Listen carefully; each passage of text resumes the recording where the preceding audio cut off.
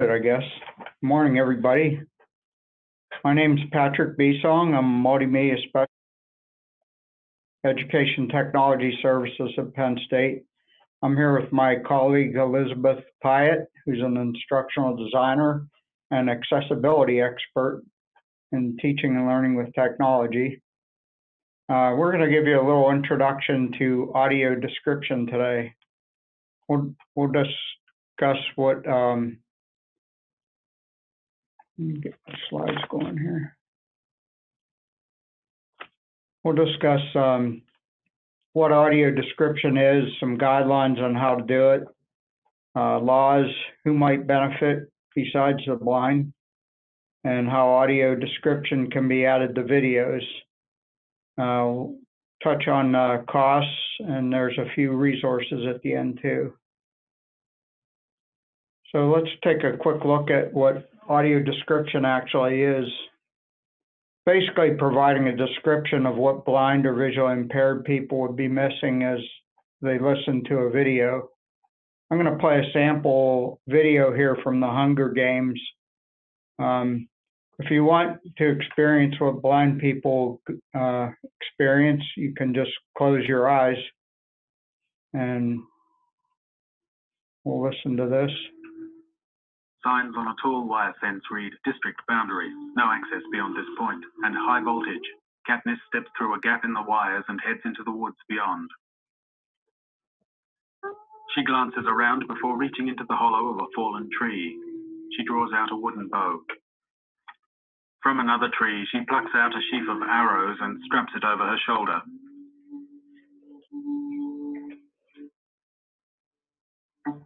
Katniss makes her way through thick green vegetation. Bow and arrow at the ready, she walks over a fallen tree suspended over the forest floor. She pauses, her gaze locked on a deer in the distance. Leaning against a tree trunk, she aims the bow and arrow. The deer sniffs the air and moves out of sight. Okay, so that's a example of um, what someone uh, who's blind or visually impaired might hear when they hear an audio description of a video. And that was pretty well done, I have to say. It's, uh, you know, very descriptive and everything. Um, so some guidelines for audio description would be to describe only what you can see and not things that are implied like the actor's intentions. Um, you want to you want to let the the listener figure out for themselves what's what's actually happening. Um, try not to distract from the original content. Uh, you don't want to um, uh, talk over uh, some of the audio or you know, change the original video in any way. You want to give them the best possible experience. And uh, just we had a quick question. Do you happen to know if the descriptions were from the novel or if they were generated differently? I don't know. Actually, I found that on uh, YouTube as a sample. I thought it was a pretty good sample. The thing about that sample, though, is there was no uh, dialogue going on, and that's the tricky part. but uh, we'll, we'll discuss that a little bit. Uh, some of the other things uh, you, you would describe will be like who who's in the image, uh, sort of their age range. Are they teenagers, uh, older people, preteens? Uh, their hair description, uh, what they're wearing, uh, anything to uh, paint the scene. Uh, could be uh, relationships too, whether the, it's somebody else's mother or brother-in-law. And only if only if the video actually um, somehow lets you know that and you might uh, describe people by their notable features, and that would include race or ethnicity, ethnicity, if it's known. or if it's valuable to, to understanding what's going on. And you want to move from the general to the specific. Uh, you want to set the scene, uh, describe the whole area, uh, the environment, and and then go into more detail if you can. Uh, describing color, um, most most blind people weren't blind all their life, and so they have some idea of what color is, and many of the, even the blind have an idea what what color means. Uh, they have some understanding of significance of what colors certain colors might mean. Uh, directional information, you know, which way the action's moving, left to right, top, bottom. Uh, what's happening, what gestures are being shown, and that uh, the blind person wouldn't be able to tell. Um,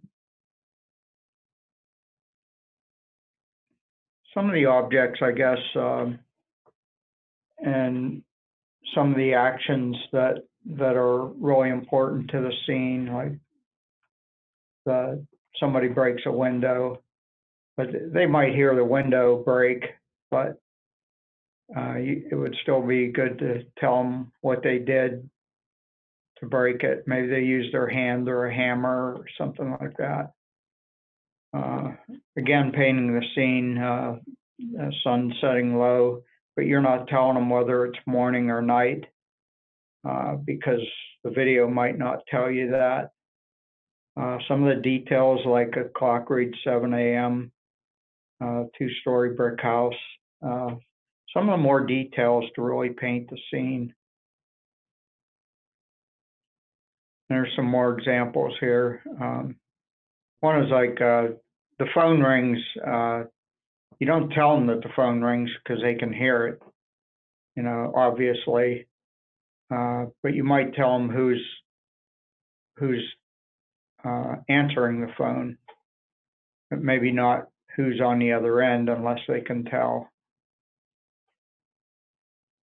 Uh, some other examples there. Um, one might be if they pick up a, a photo, you might describe how big the photo is and and who the people are in the photo that might be important to the scene. But clarity is more important than colorful imagery. So you don't have to be a complete expert. Uh, you just have to get the message across what's going on. Uh, some of the, I don't, I don't want to spend a whole lot of time on the audio description laws, but there were some laws passed, uh, anti-discrimination laws, uh, 21st Century Video Accessibility, Americans with Disability Act, and sections 504 and 508 of the Rehabilitation Act. Uh, they pretty much require that the same laws, like for um, closed captioning for the deaf and uh, audio description for the blind. Um, but some of the wording has been challenged in lawsuits. Netflix has been sued, uh, Broadway's Hamilton, AMC Theaters, UC Berkeley are a few examples.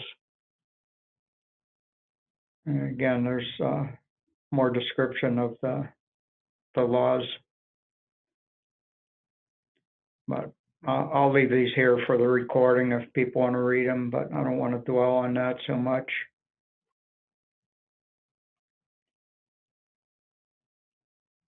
They, they are expanding the rules to, they're going to require more audio description in the future from uh, people who offer programming. Uh, Hamilton was soon sued by a blind person uh, because they didn't provide any type of audio description. And they people tend to not do it because of the expense and they're not sure how well the, the play is gonna go over, for example. So they don't wanna put the money into it until they have to, maybe. And Cal Berkeley was sued, uh, for lack of audio description, uh, YouTube videos and lectures. Uh, they didn't have any type of uh, audio description or al- alternative formats. Uh, AMC Theaters was sued too. They, they weren't providing, um, uh, any type of audio description services. And the ones they did, a lot of times the batteries were dead in the, in the equipment or it just didn't work. Or the, the people that worked there, uh, didn't know how to use it or that sort of thing. So it really detracted from the, the person's enjoyment of the movies. And you figure people that work at the theaters are usually getting minimum wage and they're probably not putting a whole lot into it and they don't, they don't learn how to use this stuff or keep it up. Uh, maybe because it's not used that often too, and they forget to check the batteries and that sort of thing, or maybe they even lose it. Oh, uh, just a quick comment from Marilyn. She said some of her Netflix shows have captioning. And I guess she doesn't know how to take them off or if they can be taken off. You can go into your um, uh, settings in Netflix and turn off closed captioning. Yeah, just, uh, that sort of happened with me on Comcast cable. All of a sudden, I was getting audio description for The Big Bang Theory. Oh, really? Yeah. And I had to go into the settings and I had to check primary audio. Oh, okay. Um, I wanted to mention the, some of the other benefits, uh, just like closed captioning, not just the deaf, uh, can benefit, but, um, so not just the blind would benefit from audio description, uh, especially for, uh, people with autism who might not recognize some emotional cues like somebody's sad or happy or that sort of thing. They they just don't pick that up and they might have to ask people they're watching with what's going on because they're not really quite getting it. So audio description there would really help them. And a lot of people don't pick up on details. Um, they call that inattentional blindness, but if it's described, they might pick it up.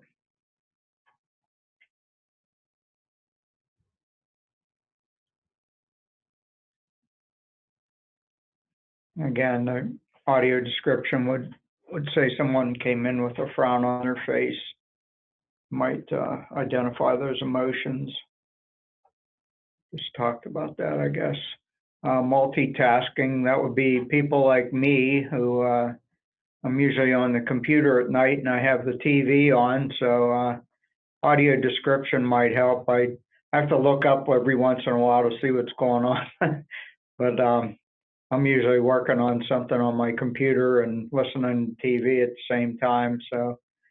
And, uh, so maybe there's a bus driver too that's, uh, kind of listening to a video that everybody else is watching and if they were able to listen to uh, the audio description, that would help them enjoy the movie while they're driving or if you're doing any other type of task.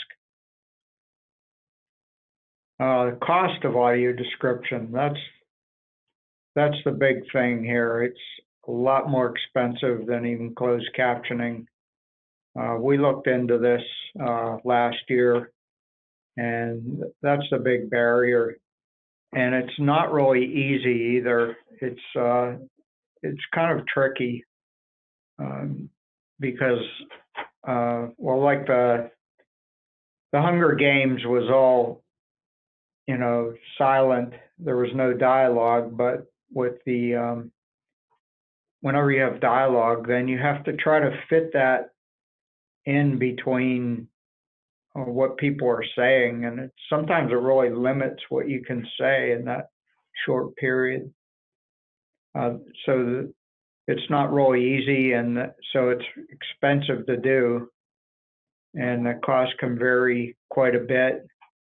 We looked at prices anywhere from fifteen dollars to seventy-five dollars a minute. Uh, um, uh, there's a couple examples there, W, WBGH at thirty-five and Halbert at twenty-six.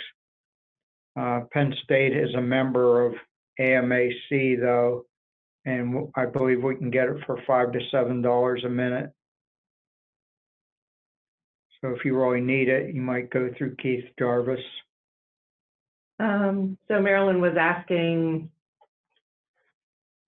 should we have this service at Penn State? We should, but just like, uh, closed captioning, it's, it's gonna be hard to get anybody on board. We wanted to get a service going for that. But it was, um, we got nixed basically for trying to do it. The expense is just too cost prohibitive and they wanna just send it out all the time.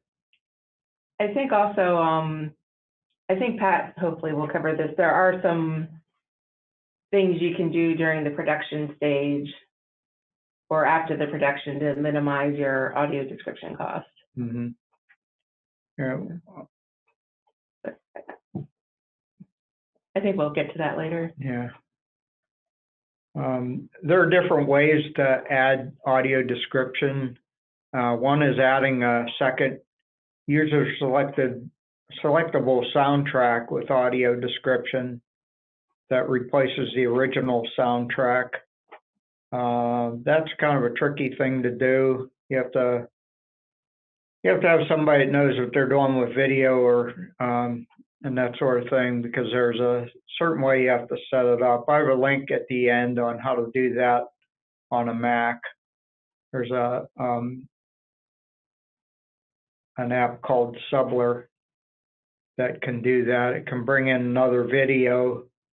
So you basically have two videos and then you turn off the vi- the video portion of one, so you have just the audio, and then they can choose between the two audio tracks, the regular audio track or the one with the um, audio description. Um,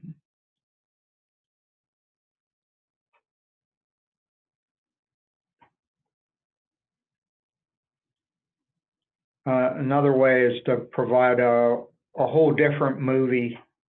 So you have two movies, one with and one without the audio description. And a second soundtrack that um, is in sync with the original soundtrack that can be turned on or off. Uh, and another way, sometimes you have to actually pause the movie and add description to it. An example of that might be maybe you have a math lecture where there's a equation on the board and the professor writes out this equation and you almost have to stop the video and describe what was drawn on the on the board uh, so they get a, a mental picture of where they're going and then and then let the video go again until you can describe it again. And that's going to make for a longer video than you had originally. That's still another way that might have to be done. Uh, static text alternative might be another thing. Um, where they could use a screen reader maybe.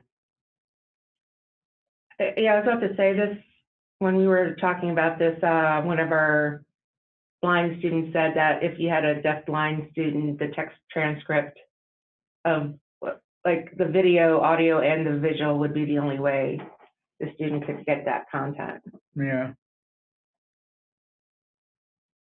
Um, something fairly new, I guess, is the HTML5 video can allow for a web VTT description file.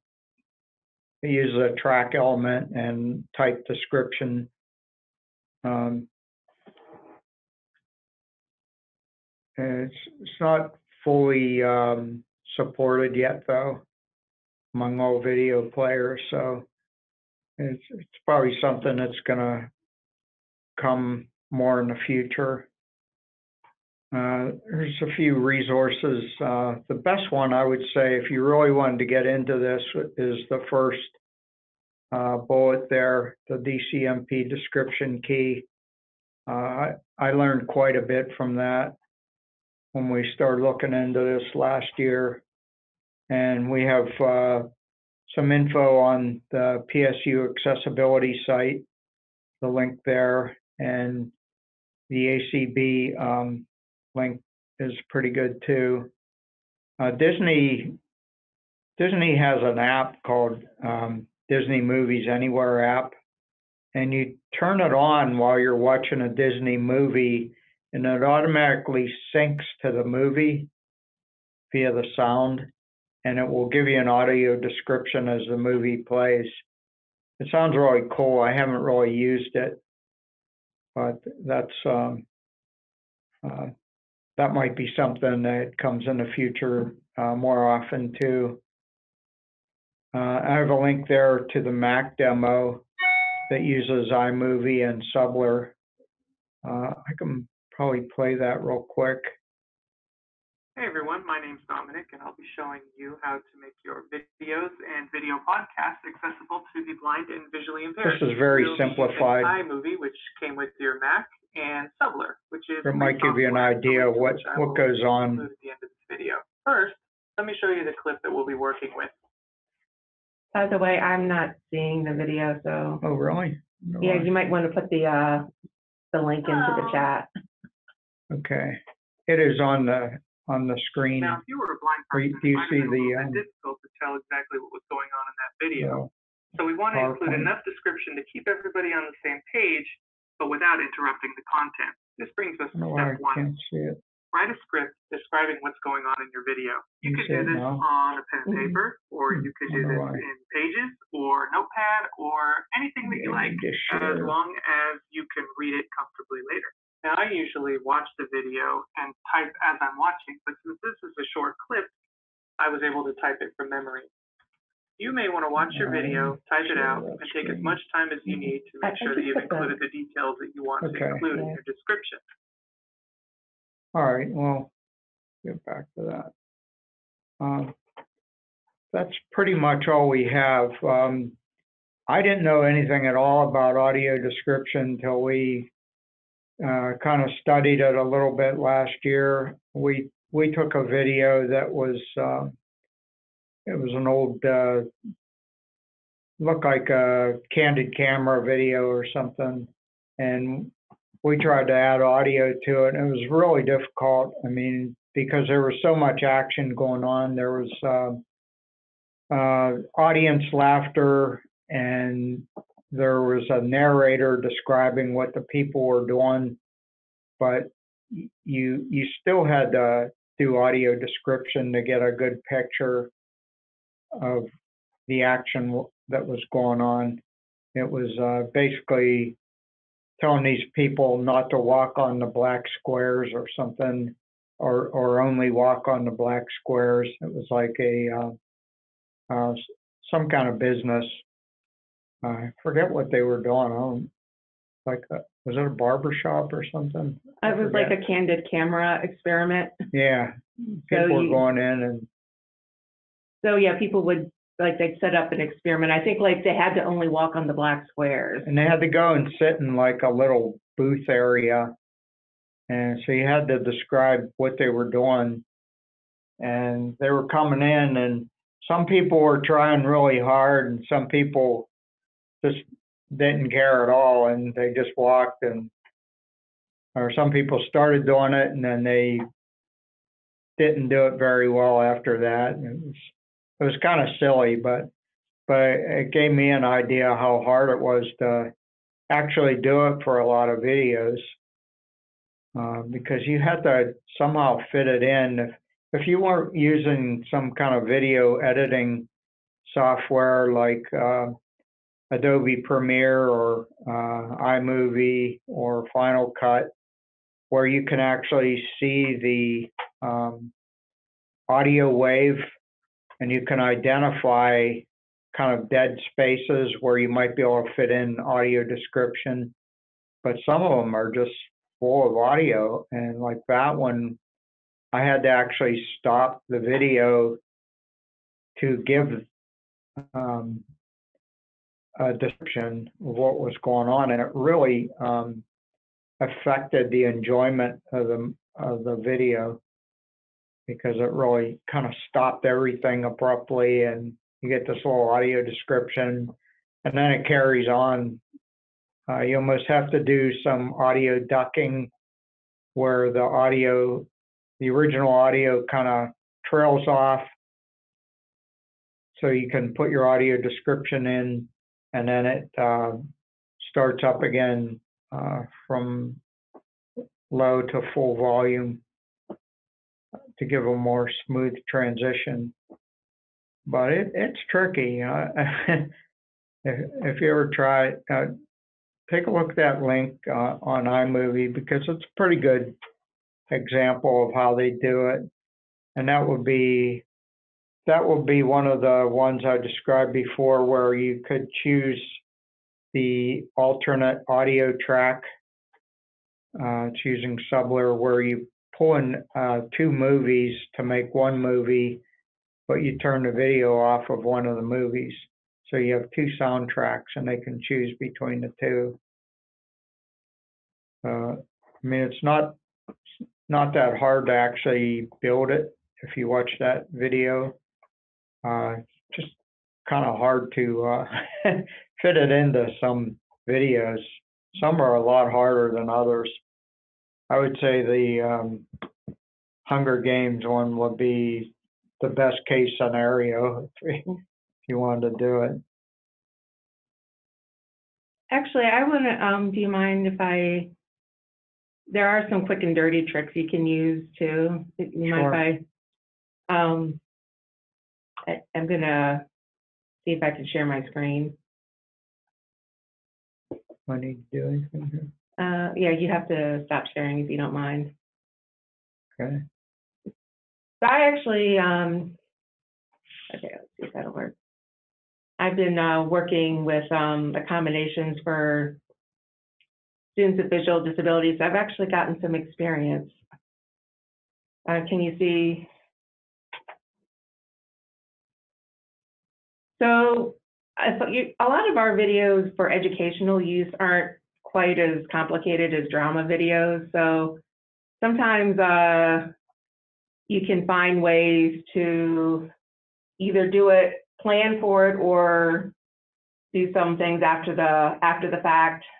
It also helps that most videos are shorter. So this is sort of one that I had to do in real life. So this was from, this example would be in a speech, uh, speech disorders course. And, um, autism comes up because, uh, some kids with autism also have speech disorders. So this is, uh, this is a child with autism who's spinning a lot. So. And sometimes there isn't even any audio, there's no audio. There might be in this case, but I'm pretending there's no audio. So you could have an audio description track saying child spin, spin, spin some more. But another, this is, you could also have a description saying that the video is a minute and 25 seconds and the child is spinning in the entire video. Yeah, that's good. So that's something to think about. And, and then I'm going to try, so this is sort of a math demo. I'm going to see. I don't know what the audio is going to be like, but um, we'll see what it is. Okay, for this video, we will introduce the basic ideas of set theory. Now, all a set is, is a collection of objects So the first thing he said, we're going to be talking about set theory. That means you don't have to describe the text, set theory, because the narrator helpfully provided it for you. So that's, some people call that embedded description, meaning you, in your storyboarding, you take care to describe all the relevant objects. You describe what's written out, you describe what you're holding, maps, diagrams, things like that. And that will also minimize your need to do it after the fact. So I'm going to play some more and see what he does. where order and repetition is irrelevant. Let me give you a few simple examples. We have the set one, two, four, five, and seven. And we use curly bracket to denote the idea of the set, the collection of objects. Thank you. he actually did it right. So you, you probably, if you can get your script to that point, you're really not going to have to do much audio description at all. So um, I, I'm going to stop there, but um, I, I think that kind of gives you the idea of Yeah, another way I to think that's minimize it. important if